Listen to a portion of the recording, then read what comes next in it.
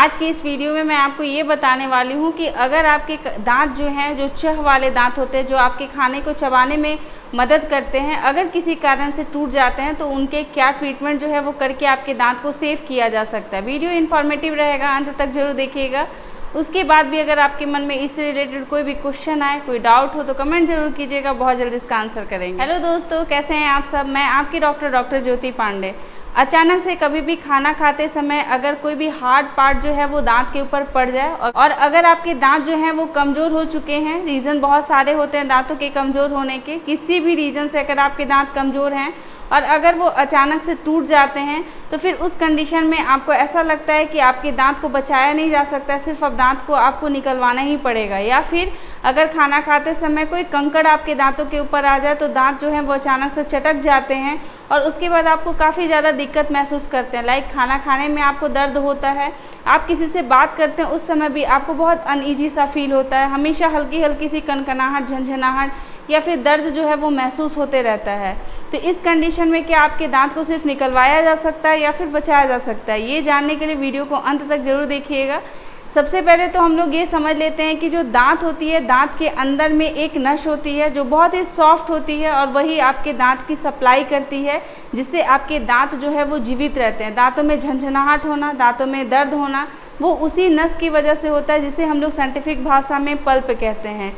ये पल्प जो है, वो ब्लड सप्लाई करता है, जिस वजह से वो रेड कलर का दिखाई देता है। जब भी कभी आपके दांत चटकते हैं तो वो देखना होता है कि आपके दांत का कितना पोर्शन जो है, वो इन्वॉल्व हो चुका है। जैसे कि अगर आपके सिर्फ़ इनेबल का पार्ट अगर टूटा हुआ है तो कोई प्रॉब्लम की बात नहीं है, सिर्फ़ एक छोटे से फीलिंग से आपको उसको ठीक किया जा सकता है।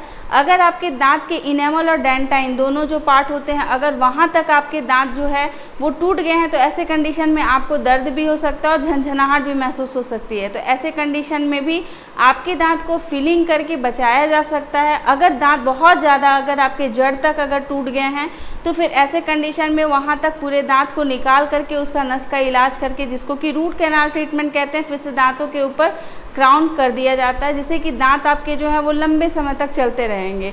कुछ ऐसे कंडीशंस भी होते हैं जिसमें दांत जो है वो बीचों बीच से चटक जाते हैं, जिससे कि उनको बचाना जो है वो मुश्किल हो जाता है। थोड़ा भी दांत का पार्ट अगर हिलता है तो आपको बहुत ज़्यादा दर्द महसूस होता है। फिर ऐसे कंडीशन में जो है वो आपके दांत को निकाल दिया जाता है, फिर वहाँ पे कैपिंग कर दी जाती है, जिससे कि आपके दांत जो है वहाँ पे जहाँ पे दांत नहीं थे, वहाँ पे दांत आ जाएँगे, आप आसानी से उसको खा सकते हैं। आपको कुछ ऐसे टिप्स बताते हैं कि जब भी कभी आपके दांत अचानक से अगर चटक जाए तो उस कंडीशन में आपको क्या करना चाहिए? सबसे पहले तो उसको हिला हिला करके आपको ये चेक नहीं करना है कि आपका दांत जो है वो कितना ज़्यादा टूटा है। हो सकता है कि दांत के कुछ ही पार्ट जो है वो एक्सपोज हुए हैं बट आपके हिलाने की वजह से आपके नस जो हैं, वो भी एक्सपोज हो जाते हैं या फिर उनमें से ब्लीडिंग होने लगेगी तो फिर ऐसे कंडीशन में दांत को सेव करना मुश्किल हो जाता है। और अगर आपके दांत अभी तुरंत चटके हैं तो कोशिश कीजिए कि एक से दो घंटे में आप अपने नियर के डेंटिस्ट के पास जा कर के अपने दांत को सेव करवा लें। अदरवाइज़ वो दांत जो हैं, वो बहुत ज़्यादा लंबे समय तक हवा और पानी के जो है, वो कांटेक्ट में रहेंगे तो उससे आपके जो एक्सपोज़र है, पल्प का, वो बहुत ज़्यादा हो सकता है, जिससे कि आपके दांत को सेफ़ नहीं किया जा सकता है। और अगर आपके दांत जो हैं, वो चटके हैं तो कोशिश ना करें कि उसके बाद चबा चबा के कि हो सकता है कि चबाने से जो है वो फिर से दांत जो है वो ठीक हो जाएँगे, वो पार्ट जो है, वो जो अभी हल्का दर्द कर रहा है, वो अपनी जगह पे आ जाएगा। तो ऐसी ये सब गलत फहमियाँ जो हैं, आप अपने माइंड से निकाल लीजिएगा और तुरंत ही अगर दांतों के ऊपर चोट लगता है तो तुरंत ही अपने नियर के डेंटिस्ट के पास जा कर के अपना प्रॉपर ट्रीटमेंट लेकर के अपने ये जो क्रैक्ड टूथ होते हैं, उनको आप बचा सकते हैं। ये क्रैक्ड टूथ जो होता है, वो सिर्फ़ खाना खाने में कुछ कंकड़ पड़ने की वजह से या हार्ड पार्टिकल्स पड़ने की वजह से ही नहीं टूटती हैं। ऐसे भी बहुत सारे लोग होते हैं जिनमें कि कैल्शियम डिफिशेंसी बहुत ज़्यादा होती है। या फिर जिनमें पाइया की प्रॉब्लम होती है या जो लोगों का दांत जो है वो बहुत ज़्यादा कमज़ोर हो चुका होता है ड्यू टू उनको डायबिटीज़ होता है, बहुत लंबे समय तक वो टेंसिव की मेडिसिन लेते हैं तो इस वजह से भी उनके दांत जो हैं वो नॉर्मल से खाने से भी चटक सकते हैं। तो ये एक तरह का इसको हम लोग क्रैक्ड टूथ सिंड्रोम कहते हैं। ये इसमें जो है वो खाने में कोई हार्ड पार्टिकल्स का होना ज़रूरी नहीं है, दांत के दांत ऊपर बाइट करने की वजह से भी दांत चटक सकते हैं।